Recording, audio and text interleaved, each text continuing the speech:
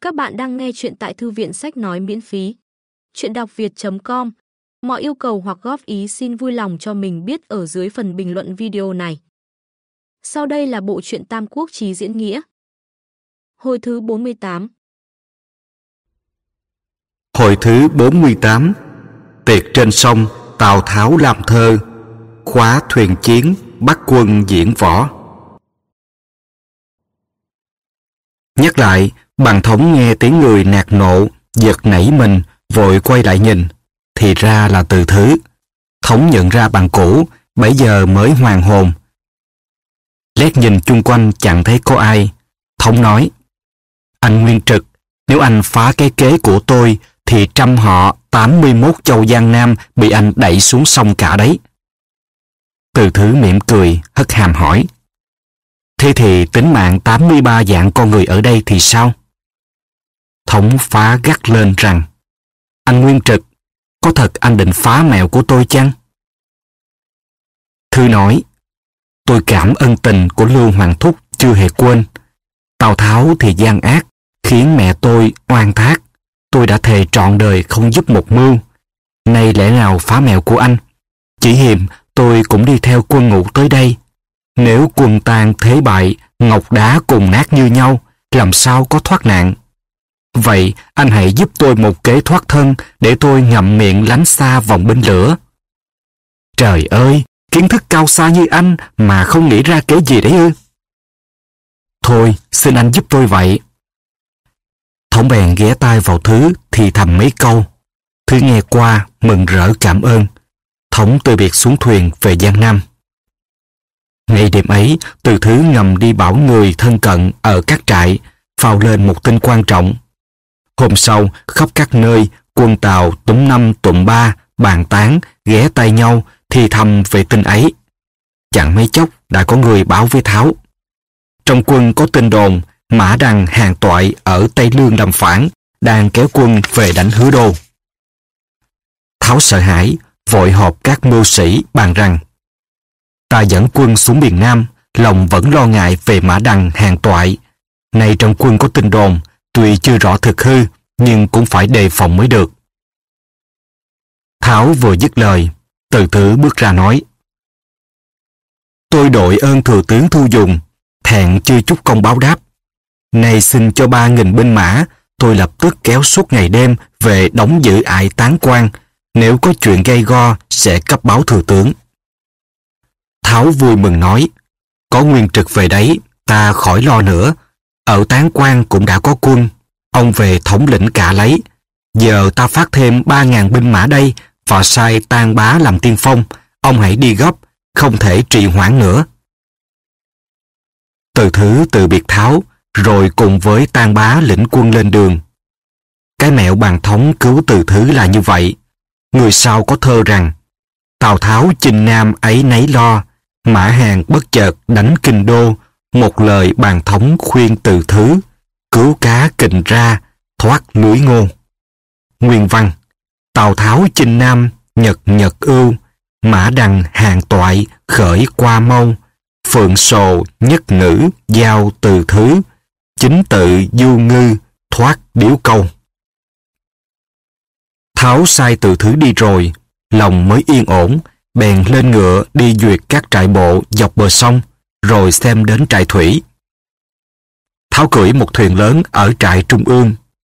Bên trên kéo lá cờ để chữ xoáy, trên thuyền may phục ngàn tay cung ngõ.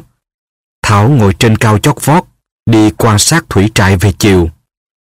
Bây giờ là năm Kiến An thứ 12, mùa đông tháng 11, ngày rằm. Chiều tối hôm ấy, khí trời dịu mát, trăng tỏ mây quang, gió êm sóng. Tháo sai bày yến tiệc, dàn âm nhạc trên thuyền, bảo các quan. Đêm nay, ta muốn cùng các chư tướng mua vui. Khi ánh hoàng hôn vừa tắt, vầng trăng nhô lên từ non đông, ánh sáng vàng vặt như ban ngày. Một dải trường giang bàn bạc mênh mông như tấm lụa vĩ đại.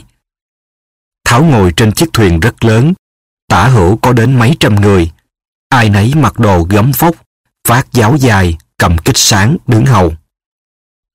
Trong tiệc thì các quan văn võ đông đảo cứ theo thứ tự mà ngồi, Bây giờ Tháo trong sang núi Nam Bình, thấy cảnh sắc như bức họa tuyệt vời.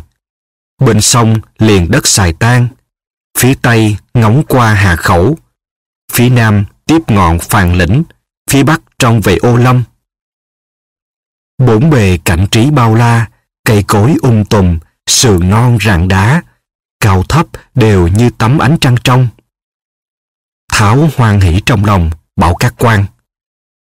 Ta từ khi khởi nghĩa binh đến nay, vì quốc gia trừ hưng khử bạo, nguyện thề quét sạch bốn phương và đã dẹp yên gần hết thiên hạ. Chỉ còn đất Giang Nam là chưa lấy được. Này ta có trăm vạn hùng binh, lại nhờ các ông ra sức, thì lo gì chẳng thành công. Thu phục được Giang Nam nữa là bốn phương vô sự. Bây giờ ta với các ông tha hồ hưởng phú quý mà vui cảnh Thái Bình. Văn quan võ tướng đều đứng dậy tạ rằng mong sao chống được ca khúc khải hoàng ấy là trọn đời chúng tôi được nhờ phúc ấm thừa tướng. Về sau, thi sĩ đời đường là Thôi Đồ đã có bài thơ xích bích hoài cổ như sau. Sông núi nhà Lưu đã tách phân, giúp vua ai chịu phục nguyên thần, đoạt quyền chinh phạt quên thiên tử, chỉ biết anh hùng có sứ quân. Trận đánh ven sông gò hóa vực, xuân về bến nước cỏ xanh rờn, dấu xưa tranh thắng tìm đâu nhỉ, tiếng hát chài hôm gợi mối hồn. Nguyên văn Hán thất sơn hà đỉnh thế phân, cần vương thùy khẳng cố nguyên luân, bất tri chinh phạt do thiên tử, duy hứa anh hùng cộng sứ quân. Giang thượng chiến dư lăng thị cốc, độ đầu xuân tại thảo liên vân, phần mình thắng bại vô tổng sứ không thính ngư ca đáo tịch huân. Thảo vui cười hớn hở, truyền tả hữu rót rượu. Uống đến nửa đêm, Thảo đã say lắm, bèn trỏ tay về hướng nam, gọi lớn. Bớ chu du lỗ túc, chúng mày không hiểu vận trời, dám miễn cưỡng chống chọi. Nay, mày có người về hàng ta và mưu tính ngay trong gan ruột chúng mày. Thật là trời giúp ta nhé. Tuần Du can rằng, thừa tướng chớ nói thế, sợ việc tiết lộ. Tháo bật cười ha hả. Các ông trên tiệc với tả hữu đứng đây đều là tông phúc của ta cả, có gì mà ngại. Rồi lại trỏ về hạ khẩu mà kêu. Bớ lưu bị, gia các lượng, chúng mày không lượng sức sâu kiến, dám lay xô núi Thái Sơn, sao mà ngu muội thế? Cuối cùng hạ giọng bảo các tướng. Ta năm nay đã 54 tuổi, nếu chiếm xong Giang Nam ta cũng được chút vui mừng riêng. Số là trước kia ta quen thân cụ Kiều Công, được biết cụ có hai cô con gái, đều là trang quốc sắc thiên hương. Không ngờ về sau, tôn sách với chu du cưới mất. Nay ta đã xây đài đồng tước trên sông Chương. Nếu hạ được Giang Nam, ta sẽ đem hai nàng kiệu về đấy để vui thú những năm tháng về già. Thế là ta mãn nguyện. Nói rồi cười khanh khách rất kêu căng. Về sau, thi sĩ đổ một đời đường cũng có bài xích bích hoài cổ rằng Kích chìm bến nước, sắc chưa tiêu, mày thử nhìn ra dấu hán triều, công cẩn phía không nhờ sức gió, khóa đền xuân đã buộc hai kiều. Nguyên văn Chích kích, trầm xa, thiết vị tiêu, tự tương ma tẩy, nhận tiền triều, đồng phong bất giữ, chu lan tiện, đồng tước xuân thâm, tỏa nhị kiều. Thảo đang cười nói, bỗng nghe tiếng quạ kêu vang trên không trung, rồi vừa kêu tiếp tục, vừa bay về hướng nam xa thẳm. Thảo hỏi, sao ban đêm quạ lại kêu thế nhỉ? Tạ hữu thưa, quạ thấy ánh trăng tỏ, nó tưởng trời đã sáng nên rời cây bay ra kêu như vậy. Thảo lại cười ha hả. Bây giờ đã quá say, bèn cầm cây giáo ra đứng trước mũi thuyền, rót một chén rượu đổ xuống sông, rồi lại uống ba chén đầy nữa. Uống xong, cầm ngang ngọn giáo bảo các quan. Ta cầm cây giáo này phá giặc khăn vàng, bắt lã bố, diệt viên thuật, thu viên thiệu. Sao vào sâu tái bắc, lúc thẳng tới Liêu Đông, vẫy vùng ngang dọc khắp thiên hạ, chẳng phụ cái chí đại trượng phu. Nay đối cảnh này, lòng rất cảm khái. Vậy ta phải làm một bài hát, các ông nên họa lại cho vui.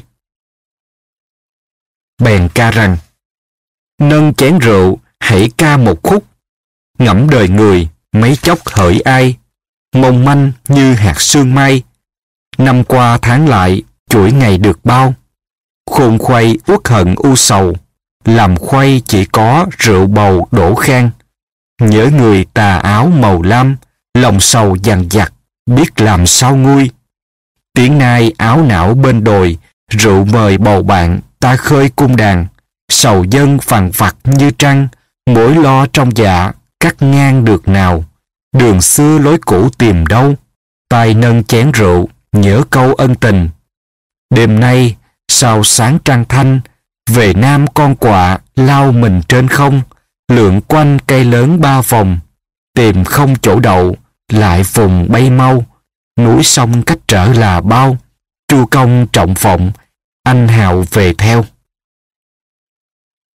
Nguyệt văn như sau Đối tửu đương ca, nhân sinh kỷ hà, thí như triều lộ, khứ nhật vô gia, khái đương dĩ khang, ưu tư nam vương, hà dĩ phải ưu, duy hữu đổ khang, thanh thanh tử cầm, du du ngã tâm, âu âu lộc minh, thực giả chi bình, ngã hữu gia tân, cổ sắc suy sinh. Giảo giảo như nguyệt, hà thời khả chuyết, ưu tòng, trung lai, bất khả đoạn tuyệt, việc mạch độ thiên, uổng dụng tương tồn, khiến khoát đàm yến, tâm niệm cựu ân, nguyệt minh tinh hy, ô thước nam phi, nhiễu thụ tam táp. Vô chi khả y, sơn bất yếm cao, thủy bất yến thâm, chu công thổ bộ, thiên hạ quy tâm. Thảo dứt ca, các quan nhiều người họa lại rất vui vẻ. Bỗng trong tiệc có một người tiến ra nói.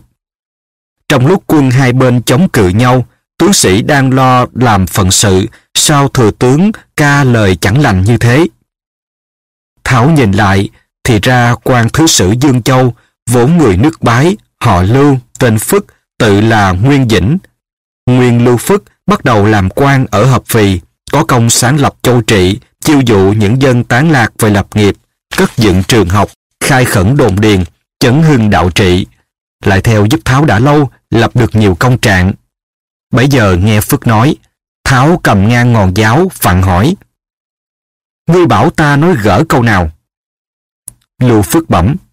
Mấy câu, đêm nay sau sáng trăng thanh, về nam con quạ lao mình trên không, lượn quanh cây lớn ba vòng tìm không chỗ đậu lại vùng bay mau, chính là những câu bất lợi vậy.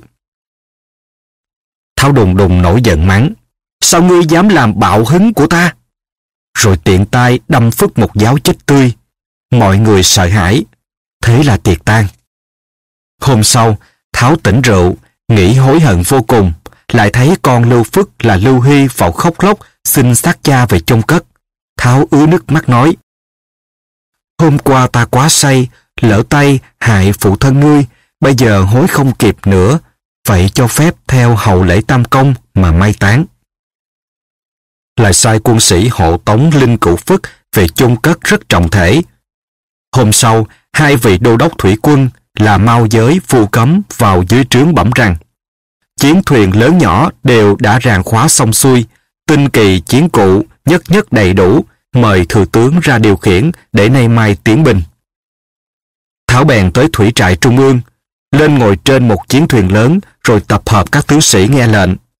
Thế là hai trại thủy bộ, ba quân chư tướng chia ra năm sắc cờ hiệu lệnh như sau. Thủy quân, đội trung ương cờ vàng do Mao Giới vu cấm chỉ huy. Tiền quân cờ đỏ, Trương Cáp, hậu quân cờ đen, Lã Kiền, tả quân cờ xanh, Văn Xính, hữu quân cờ trắng, Lã Thông. Quân mã bộ thì tiền quân cờ đỏ, Từ Hoảng, hậu quân cờ đen, Lý Điển, tả quân cờ xanh, Nhạc Tiến, hữu quân cờ trắng, Hạ Hầu Uyên, lại sai Hạ Hầu Đôn, Tào Hồng làm đô tiếp ứng cho cả hai quân thủy lục. Hứa chữ Trương Liêu làm hộ vệ vãn lai giám chiến.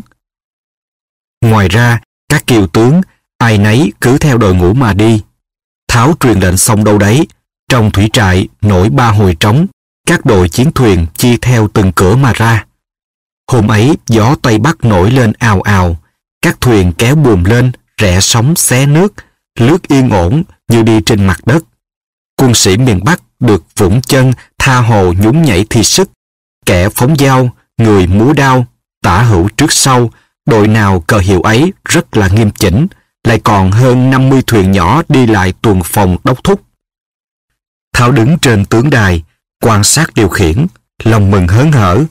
Mười mươi nắm chắc phần thắng trong tay rồi. tháo luyện xong, truyền hạ bùm xuống, thu thuyền về. Các thuyền lại răm rắp theo thứ tự quay về trại. Tháo thằng trướng, bảo các mưu sĩ. Nếu không phải trợ giúp ta, thì đâu được phượng sồ mắt diệu kế ràng cột chiến thuyền như thế này. Quả nhiên vượt nước đi như trên cạn vậy. Trình Dục nói, Thuyền khóa liền với nhau, vững chãi, yên ổn thật, nhưng chỉ sợ quân kia dùng hỏa công thì ta khó gỡ thoát. Phải đề phòng mối nguy này mới xong. Thảo nghe qua, cười ha hả, rồi nói. Trình Trọng Đức thật biết lo xa, nhưng còn chưa nghĩ đến nơi đến chốn. Tuần Du hỏi, Trọng Đức nói phải lắm, sao thừa tướng lại cười? Thảo mới giảng rằng, phàm đánh hỏa công, ác phải nhờ sức gió, mà nay đang mùa đông thì chỉ có gió Tây, gió Bắc, chứ làm gì có gió Đông, gió Nam. Quân ta ở phía Tây Bắc, quân địch đóng cả bờ phía Nam. Nếu chúng phóng hỏa thì chúng tự đốt quân chúng, chứ ta có thiệt hại gì mà sợ. Nếu như vào tiết tiểu xuân tháng 10, thì ta cũng đề phòng rồi đấy. Các tướng đều bái phục. Thừa tướng cao kiến vô cùng, chúng tôi quả thực không ai nghĩ đến điều ấy tháo lại nói, quân ta toàn quân thanh, từ, yên, đại, xưa nay không quen thủy chiến, nên không dùng kế ràng thuyền thì vượt thế nào được sông lớn này. tháo vừa dứt lời, bỗng thấy hai tướng bước ra bẩm rằng Tiểu tướng tuy là người đất U, đất yên, nhưng cũng biết cưỡi thuyền. Giờ xin cho mượn 20 chiến thuyền, chúng tôi quyết tới thẳng cửa Tam Giang, cướp cờ đoạt trống mà về, để tỏ rõ Bắc quân cũng quen thủy chiến. Thảo nhìn lại, thì ra là hai tướng Tiêu Xúc và Trương Nam, bộ hạ cũ của viên thiệu. Thảo nói, các ngươi đều sinh trưởng ở phương Bắc, e cưỡi thuyền không tiện. Quân Giang Nam thì quen sống trên mặt nước, tập luyện đã tinh. Hai người đừng đem tính mạng ra mà làm trò đùa. Tiêu Xúc Trương Nam kêu lớn lên rằng, nếu đánh không thắng, xin chịu tội theo quân Pháp. Thảo nói, chiến thuyền đã ràng khóa hết rồi, chỉ còn thuyền nhỏ, mỗi thuyền chỉ chở được 20 người, sợ không tiện tiếp chiến. Tiêu Xúc nói, nếu dùng thuyền lớn thì có gì là lạ. Chỉ xin cho 20 thuyền nhỏ, tôi với Trường Nam mỗi người kém một nửa. Ngày hôm nay lướt thẳng qua thủy trại Giang Nam, quyết chém tướng dưới cờ, mà về mới nghe. Thảo thấy hai tướng hăng hái, bèn cho phép. Ta cho các ngươi 20 chiếc thuyền đấy, hãy lựa lấy 500 quân sĩ tinh nhuệ, ai nấy cầm giáo dài cung cứng, sáng mai tiến đánh. Ta sẽ cho các thuyền lớn từ đại trại ra mặt sông, dàn xa xa để làm thanh thế, lại sai văn xính đem thêm 20 thuyền nữa tiếp ứng các ngươi trở về. Tiêu xúc trường Nam hân hoan lui ra. Hôm sau, quân sĩ thổi cơm từ canh tư canh năm, sửa soạn xong. Trong thủy trại, chiên trống nổi lên vang trời. Các thuyền lớn kéo ra, bố trí khắp mặt sông. Trên mặt trường Giang, cờ xanh cờ đỏ phấp phới. tiểu xúc trường Nam lĩnh 20 thuyền nhỏ xuyên qua cửa đại tiến ra, rồi nhắm hướng Giang Nam lướt tới. Nói về quân ngô ở phía bờ Nam, hôm trước nghe cách sông, trống chiên huyền náo, nhìn sang thì thấy Tào Tháo thao luyện thủy binh, quân tế tác liền báo về cho Chu Du hay. Du vội lên đỉnh núi quan sát, thì quân Tàu đã lui về rồi. Hôm sau, bỗng lại nghe trống đánh vang trời. Cuồng ngô lên cao nhìn qua, thấy một đoàn thuyền nhỏ rẽ sóng lướt sang, lại phi báo vào trung quân. Chu Du hỏi các tướng dưới trướng. Ai dám ra đánh trước? Hàng đường Chu Thái cùng bước ra nói, tôi xin tạm quyền chức tiên phong, xin phá giặc. Du vui vẻ cho cả hai tướng cùng ra, và truyền lệnh các trại đâu đấy phải phòng giữ nghiêm cẩn, không được khinh trọng. Hàng đương Chu Thái, mỗi tướng đem năm chiếc thuyền tuần, chia hai kéo ra. Bên kia tiêu xúc Trường Nam đang hăng cậy khỏe, phóng ngay thuyền tới. Hàng đương đeo kính che ngực, tay cầm giáo dài đứng trên mũi thuyền, lầm lầm chực sẵn. Thuyền tiêu xúc tới trước, xúc sai quân bắn loạn tên sang thuyền hàng đương. Đương tay trái cầm mộc đỡ tên, xúc sấn tới phương giáo đâm sang, đương liền phóng cho xúc một giáo chết lăn. Trường Nam thét lớn, các thuyền đuổi theo Chu Thái, bèn phóng thuyền ra đón. Nam đứng trên mũi thuyền, sai quân hai bên bắn tên như mưa. Thái cũng một tay cầm mộc đỡ tên, một tay cầm giáo đại đao. Khi hai thuyền còn cách nhau bảy tám thước, Thái phi thân nhảy vọt sang thuyền địch, vùng đao, chém Nam chết lăn xuống nước, rồi chém hết quân tàu trong thuyền ấy. Các thuyền khác vội quay mũi chạy về. Hàng đương Chu Thái thúc thuyền đuổi đánh. Đuổi đến giữa sông thì đụng đoàn thuyền tiếp ứng của Văn Xính. Hai bên liền dàn trận đánh giết nhau một chập nữa. Chu Du cùng các tướng đứng trên núi nhìn sang Giang Bắc thấy chiến thuyền dàn sang sát trên sông cờ hiệu rõ ràng thứ tự. Rồi quay nhìn Văn Xính giao chiến với Chu Thái, Hàng Đương. Hàng Chu hàng lên đánh rấn, Văn Xính không chống nổi, phải quay thuyền vỏ chạy. Hàng Chu thúc thuyền đuổi theo. Chu Du sợ hai tướng vào sâu nơi nguy hiểm, liền dơ cờ trắng phất phất. Sai đánh chiên thu quân. Hàng Chu mới quay thuyền trở về. Chu Du trong sang, thấy chiến thuyền quân Tàu lại lần lượt chui vào thủy trại. Bèn hỏi thử các tướng. Chiến thuyền Giang Bắc chi chích như rừng lâu, Tào Tháo lại đa mưu, ta biết dùng kế gì mà phá được. Mọi người chưa kịp thưa, bỗng thấy bên trại tàu bị trận gió lớn thổi gãy lá cờ vàng trung ương. Cờ rớt xuống sông. Dù đắc ý, cười ha hả. Thôi, đúng là điểm bất tướng cho chúng rồi. Đang đắc chí nhìn ngắm, bỗng gió thổi lộng lên dữ dội. Sóng lớn xô vào bờ âm ấp. Và một ngọn gió lướt qua, thổi đuôi một lá cờ phất đập vào má Du. Du giật nảy mình vì chợt nghĩ ra một việc, rồi bỗng kêu lớn lên một tiếng, ngã lăn ra đất, miệng học máu tươi. Chư tướng vội đỡ dậy cấp cứu, nhưng Du đã bất tỉnh nhân sự. Đó chính là mới vừa cười ngất mà lăn ngất, khó khiến Nam quân phá Bắc quân. Chưa biết tính mạng Chu Du ra sao, xin đọc hồi sau sẽ rõ. Lời bình của Mao Tôn Cương trong Thánh Tháng Ngoại Thư Hồi trước, sau đoạn chính văn tả hám trạch lừa Tào Tháo, lại có một đoạn bàn văn kể việc lừa anh em họ Thái để theo điểm thêm.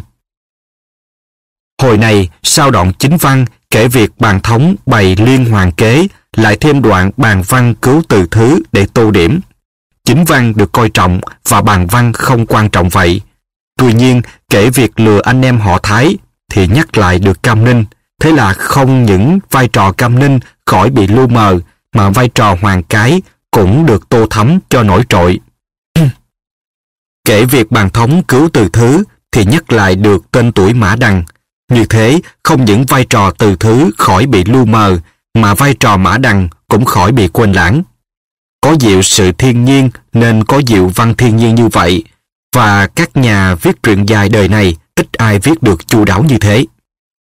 Cái lúc Tào Tháo múa ngọn giáo mà làm thơ ca hát chính là lúc đắc chí lắm lắm. Thế mà bài ca lại có câu lo lắng khôn nguôi, với lại lấy gì giải mối lo, rồi lại mối lo tự trong lòng. Sao đang lúc nên vui lại nói lo buồn như thế? Thì ra khi vui đã sẵn cơn sầu, cái vui đang diễn ra mà cái buồn đã ngấp nghé sẵn vậy. Trong thiên đàn cung, sách lễ ký có câu Mừng thì vui, vui thì ngâm vịnh, ngâm vịnh rồi ca múa, ca múa rồi bực bội, bực bội rồi buồn rầu, buồn rầu rồi than thở. Nguyên văn Lạc tư đào, đào tư vịnh, vịnh tư vũ, vũ tư uấn, vấn tư thích, thích tư tháng. Thuần vu khôn thường can ngăn tề uy vương nên bỏ những cuộc yên ẩm thâu đêm, cũng nói vui không nên vui quá, vui quá thì sinh sầu bi. Nguyên văn, lạc bất khả cực, cực tắc sinh bi. Cho nên, không những con quạ bay về Nam là điểm bất lợi cho cuộc Nam Chinh, mà ngay cái việc tháo đổ rượu xuống sông cũng đủ tỏ rõ nỗi lo sẽ đến vậy. Trong thiên hạ thường có chuyện này. Con người trước khi sắp bị một việc đau đớn thì bất như ý đã gặp ngay một việc rất khoái chí để khơi mào. Trước khi tả trận đại bại của Tháo ở Xích Bích, tác giả đã tả cả một rừng chiến thuyền dưới nước với 300 dặm trại bộ liên tiếp, gươm đao như rừng trong, đèn đuốc rực đêm trường, cờ quạt che rợp nắng. Sắp tả cảnh Tháo chạy trốn thảm bại ở Hoa Dung. Trước, hệ tả cử chỉ ngạo nghệ đắc chí của Tháo khi nhìn qua Phủ Xương, ngó qua hạ khẩu, bên bờ Nam Trường Giang. Thì ra chí chưa chắc tự đắc, lòng chưa tự mãn, chưa khoa tay múa chân, ba hoa cười nói, thì cái vạ chưa đến, cái hại chưa đến đâu. Cũng như tả vua Ngô Phù Sai, say xưa hoan hỷ hái sen, không phải là chủ ý việc hái sen. Cái chính là tả cái chết thảm nhục của nhà vua ở đất Dũng Đông đấy. Và cũng như tả sở bá vương khi vui say yến ẩm ban đêm, không phải là chủ ý tả buổi dạ yến, chính là làm cho nổi trội cái cảnh chết thê thảm ở Âu Giang vậy. Thế thì cái cảnh Tào Tháo đắc chí cầm ngang ngọn giáo ca hát trên sông có khác gì cảnh phù sai hái sen, hạng vương uống rượu. Người xưa cũng đã từng mượn ý văn của người trước nữa mà mượn rất khéo. Như bài ca trên bến xích bích mà Tào Tháo cầm ngang ngọn giáo ứng khẩu ngâm lên, có nhiều câu được rút trong thơ phong, thơ nhã của kinh thi. Rồi đời sau, Đông Pha Công Tô Tử đã làm hai bài phú tiền hậu xích bích ngay trong một bài tiền xích bích phú đã mượn ý bài phú của Tháo rất khéo hay. Tô Tử viết, như oán như mộ, như khấp, như tố. Tức là lấy ý ở câu, ưu tòng trung lai, bất khả đoạn tuyệt của Tháo. Đến câu, ai ngô sinh chi tu du, tức là lấy ý của câu, thí như triều độ, khứ nhật vô đa. Và câu, doanh hư giả như bỉ nhi tốt mạc tiêu trưởng, tức là lấy ý ở câu, dạo dạo như nguyệt, hà thời khả chiết của Tháo vậy. Lấy văn cổ nhân để làm văn mình mà hay như vậy, chứ đâu như người nay tự sáng tác mà chẳng ra gì, thì thà đừng sáng tác cho xong. Muốn cho địch mắc mẹo của mình mà thua lớn, thì trước hãy làm cho địch thua một trận nhỏ mà không phải thua vì mẹo chính của mình. Như đồng ngô đánh giết tiêu xúc Trương Nam là thế. Mẹo của ngô lừa tàu là cái mẹo khóa thuyền. Thế mà tiêu, trương, hai tướng tàu bị thua vì thuyền rời không khóa thì Tháo càng không nghi sợ cái mẹo khóa thuyền nữa và Tháo càng quyết chí dùng cây ấy hết sức cột chặt khóa vững hơn. Mưu mẹo còn khéo ở chỗ, biết rằng dùng mèo ấy thì thắng, nhưng chưa dùng vội, cứ tạm gác chưa dùng mà vẫn thắng địch được trận nhỏ. Như hàng đương Chu Thái thắng thủy quân Tàu là thế. Cái mẹo chính yếu của Đông Ngô là mẹo hỏa công, thế mà hàng Chu không dùng hỏa công để thắng trận, thì Tháo càng không ngờ Đông Ngô lại dùng đến hỏa công sau này. Cho nên khi Ngô dùng lửa bất thần, Tháo không kịp trở tay nữa. Nhiều người đọc truyện chỉ biết Chu Du phá Tháo bằng cách buộc thuyền ở hồi trước và phóng hỏa xích bích ở hồi sau mà coi hồi này như một đoạn gián văn chẳng liên lạc gì đến mưu kế lớn ấy cả. Có biết đâu rằng sự việc trong hồi này rất quan hệ đã nối liền hồi trước với hồi sau đấy. Cái mẹo hỏa công không phải chỉ khổng minh chu du, bàn thống, hoàng cái biết với nhau mà cả từ thứ trình dục tuân du cũng biết nữa.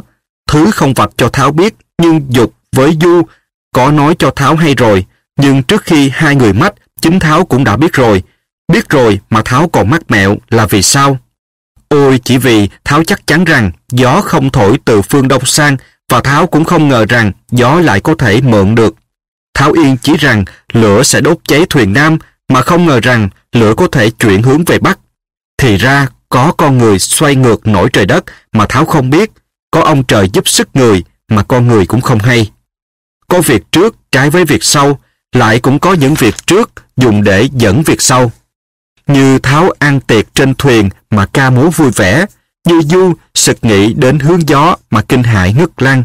Đó là hai việc trái hẳn với kết quả sau này. Như Lưu Phúc chê câu, quả bay không chỗ đậu là điềm gỡ, như Chu Du coi việc lá cờ vàng gãy là điềm nguy cho quân thù, lại là những việc mở mối trước cho cuộc đại thắng của quân Ngô. Đó là những việc dẫn dắt lẫn nhau. Nếu văn không có những đoạn tương phản thì việc kém ly kỳ. Nếu văn không có những đoạn dẫn mối thì việc xảy ra sau đó không nổi trội. Văn Tam Quốc diễn nghĩa ở mấy hồi này quả là biến ảo. Văn biến ảo nhờ sự việc biến ảo làm cho người đọc gặp những bất ngờ thú vị thay. Các bạn vừa nghe xong hồi thứ 48 của bộ truyện Tam Quốc Chí diễn nghĩa tại Thư viện Sách Nói miễn phí. Chuyện đọc việt.com Mọi ý kiến, góp ý xin vui lòng cho mình biết ở dưới phần bình luận. Và các bạn đừng quên nhấn like và theo dõi để giúp kênh phát triển nhé. Xin cảm ơn.